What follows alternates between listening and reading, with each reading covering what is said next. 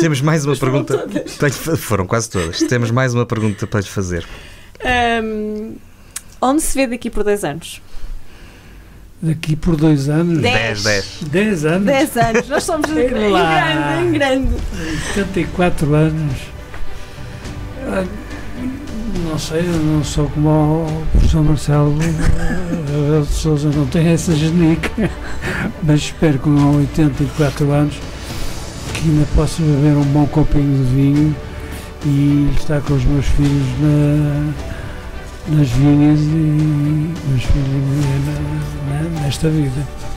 E à Quinta do Monte Xisto, onde ia vir?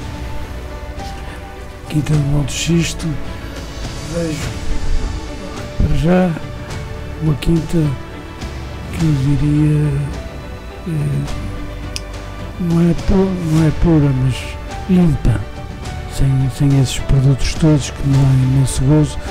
Beber um vinho que eu sei que não há introdução de produtos nenhums, quer a nível de vinha, quer a nível da fermentação, quer a nível de envelhecimento.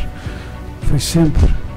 Agora temos um, umas caves em Gaia porque não queremos meter eh, ar-condicionado e, ar- e modificar o, o ambiente com máquinas e em Gaia não é, É natural. que é, natura- é natural.